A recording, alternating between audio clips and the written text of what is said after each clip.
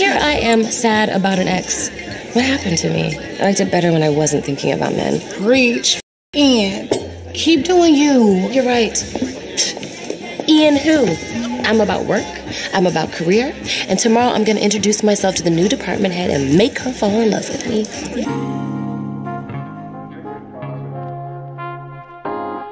The Foolishness of Career Women. Harlem, Episode 3. Welcome to Manosphere Highlights Daily. Before we dive into some of the foolishness of Episode 3, I want to address why we break down these movies because some people in the comment section are saying don't take this seriously because it's entertainment, it's fake, etc. This brings me to the most popular book in the world according to the Guinness Book of Records, the Bible. The Bible is full of stories. Whether you believe them or not, there are valuable lessons to be learned from these stories. Just like Harlem, even though it's scripted, acted out, and based on fictional characters, it says a lot about the times that we're living in today. Let's go back 40 years. 80s TV shows. When you look at the TV shows from 40 years ago, you will see a lot of family shows like The Cosby Shows, Family Ties, and Growing Pains. Family oriented TV shows because families were pretty much intact back then, and with one TV set in the house, everybody was watching the same thing. That's why TV shows are made in such a way that people can identify with them. And in this case, Harlem has late 30s, early 40s single black women as its target audience. Shout out to the Patreon gang! Salute! The original video is gonna be on Patreon because we have to respect the YouTube guidelines. That's why you will get a censored and filtered YouTube friendly version. So if you like what we do and you want to experience our content to the fullest extent, support us on Patreon. This video contains a lot of spoilers, so you've been warned. Now it's time for us to dive into this and do what we have to do. Because we men, ain't we? We men, and we? On track for tenure. And yes, fine. Ian, being engaged was a surprise too. When you saw her at the party, did she look pregnant? No, Why would Angie, you what the ask fuck? that? Why else do people get married? Because they love each other? Ooh, okay, that's worse. She's actually right. Marrying for love is worse. It's love and romance that's messing with our heads. People didn't marry for love. Love was not the foundation of marriage. Let's take a look at this article. Love and Marriage, a history that challenges the notion of traditional marriage. Through most of human history, love was not at all the point of marriage, Coontz said. Marriage was about getting families together, which was why there were so many controls. The notion that a couple would marry for love was considered almost antisocial, even subversive. Parents could disown their kids for doing it. Couples wed to make political alliances, to raise capital, to expand the workforce, and for a whole array of practical purposes. Keywords practical and purposes. In other words, it made sense. Marriages don't last in modern society because it's based on romance, feelings. There's no need to stay together when the excitement, the tension of love and romance is gone. Why do you think women initiate 70 to 80% of divorces? Women are the emotional ones. God, I just want simple. I just want sweet. I have been looking for love, real love, for so long, and it has to be my turn. Universe, hear me manifest. Daniel is the one. Okay, this is the one. Come on, God, work with me. Me Emmanuel. Cancel. I just want love too. They are the hopeless romantics, even though they are not romantic at all. You see it in our breakdowns. It doesn't matter how strong and independent a woman is. At the end of the day, she expects a man to sweep her off her feet. She will not approach you. She will not ask you out on a date. She will not organize the date. She will not pay for the date, even though she makes her own money. She will not do that because in the fairy tale, she is the princess, and the princess doesn't serve. The princess is pedestalized and worshipped. That's why it's such a turnoff to see these women in their late 30s, early 40s acting like children, still chasing this fairy tale of marrying Prince Charming one day. The foolishness. One more thing from this article. too much love was thought to be a real threat to the institution of marriage. Well, marriage is at an all time low and divorce is at an all time high. And here we are in the manosphere explaining why getting married in modern times is foolishness. Let's take it a step further. I ended things with Ian so that I could focus on my career, and that just blew up.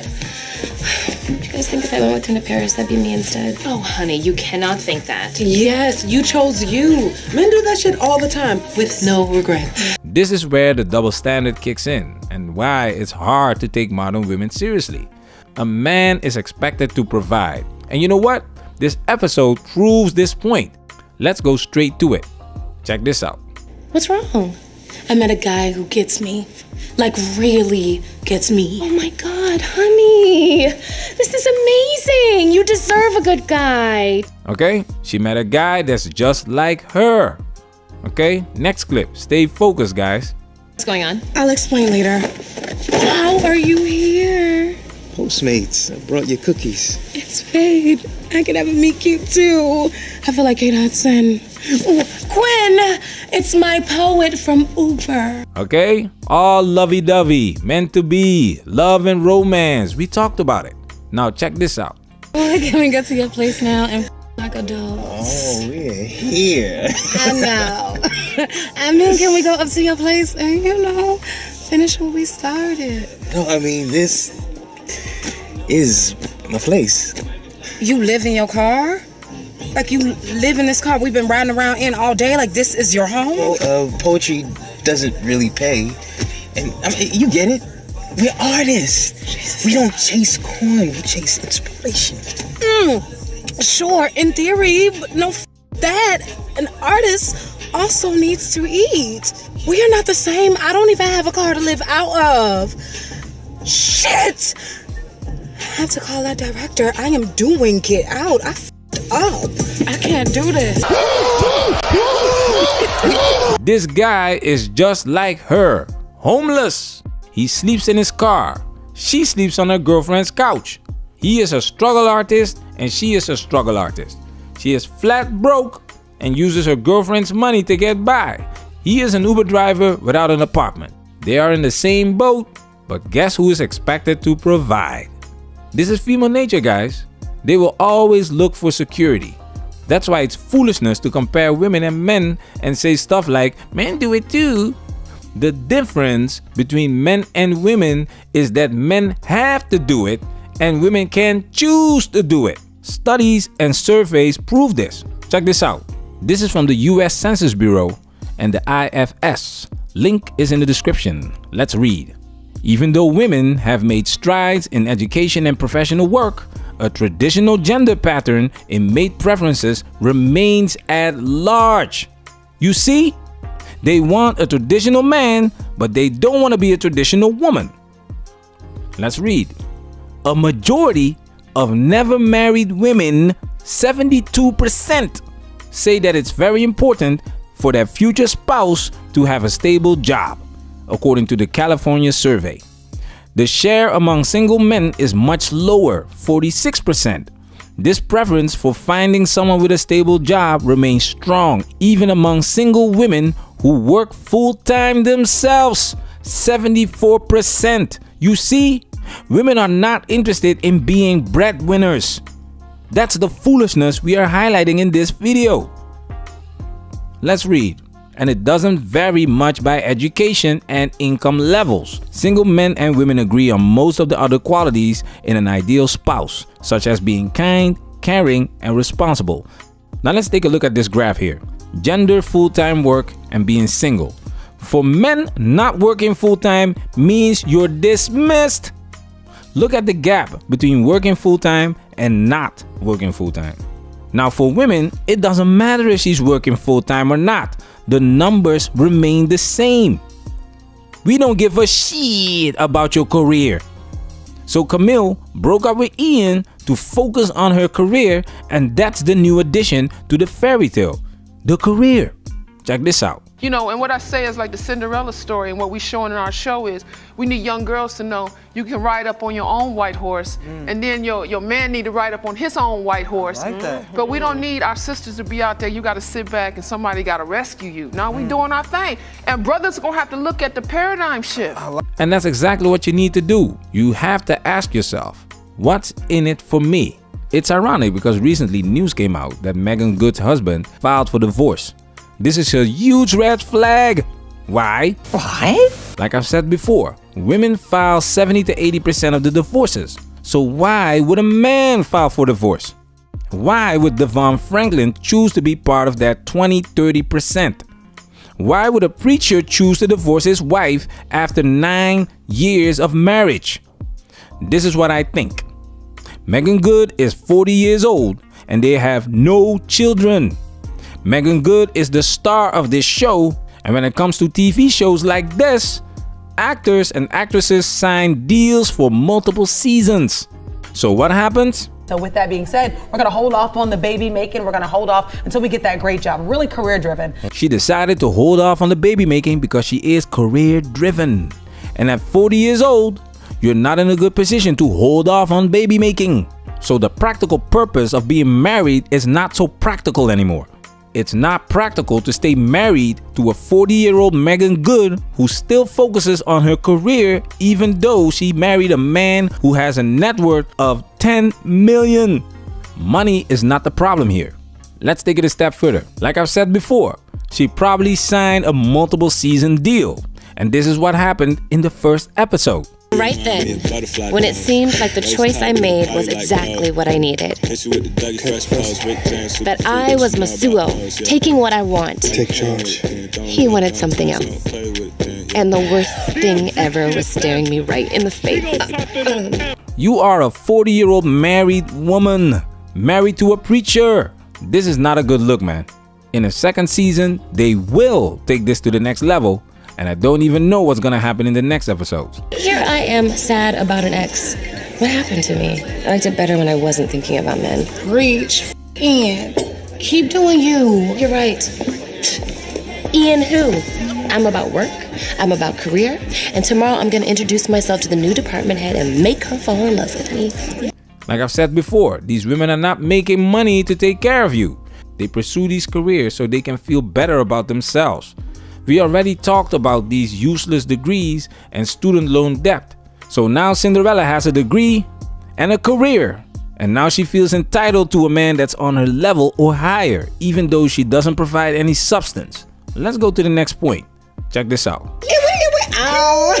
oh my god! It's Daniel! Remind me, Daniel? Daniel Wharton, entrepreneur. We talked about him last night, the guy from Prestige. Did you hear that? She leads with what he does. This is really important. Let's give another example from episode 1. Who, who is it? Thank you for asking, Camille. His name is Corey, 32, hmm. and a lawyer, a working lawyer hmm. at a real firm. I checked this time. Once again, she leads with what he's doing and she's showing his picture because he has to look good, of course. The sisterhood has to approve. These women are not trying to impress us, okay? It's the sisterhood. We made a video called Women Explain Why They Hate Each Other. They compete with each other. They don't wear makeup for us. They weave. When you are dating a woman, you're not just dating her. You're dating the sisterhood. This next clip is important to watch in its entirety to understand what Camilla is going to say at the end of the clip. Let's go. Okay, I have never seen him before in real life, so I mean, how do I look? You look amazing. Hey, Daniel. Wow, you are even more beautiful than your pictures. Thank you, and you are the same man in yours. What? Did you think I was catfishing you or something? No. Well, I think it's time for a face to face. Are you free Uh, yes. I mean, when? tonight, 7 p.m.? Uh, do you like Yes. I mean, I mean, what? lobster? Yes. I love lobster. Great. I will see you tonight at 7. Cool, cool, cool, cool. I'll text you the address. Okay. Okay. Okay. Okay, bye. Bye. yes, he is real. He is real. Oh my God. Yes, Quinn is back, bitches. Y'all better hurry up. I got a date. Congrats. I mean, he did seem real. It's a sad day for society when all a man has to do is exist. Touche, my sister.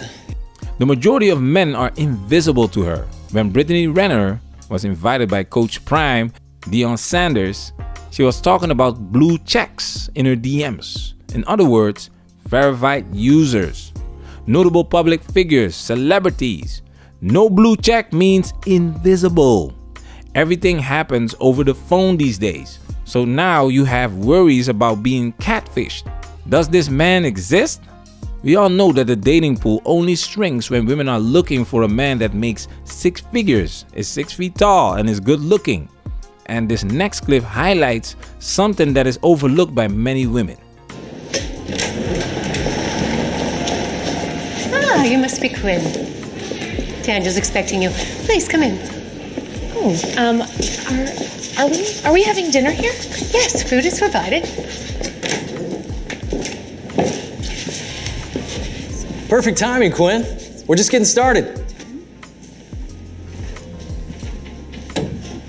Help yourself to a lobster roll. Okay. Now, what if I told you that in just one year, you could all own a Park Avenue penthouse? Well, when you sign up to be an Herbal Wunderkind sales rep, you are taking a step closer to that dream. Thank you, Pam. You're welcome, Daniel.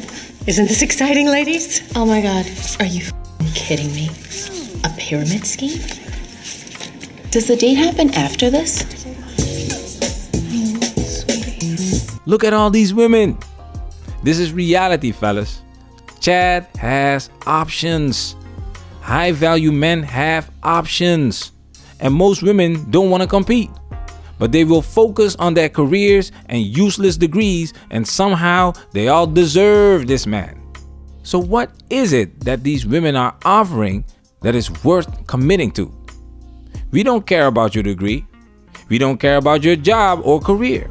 It doesn't make you more attractive in our eyes. We don't need your money because you expect us to have it ourselves. And when you finally accomplish your career goals, you've probably hit the wall. Men are naturally attracted to younger women. So, what is it gonna be?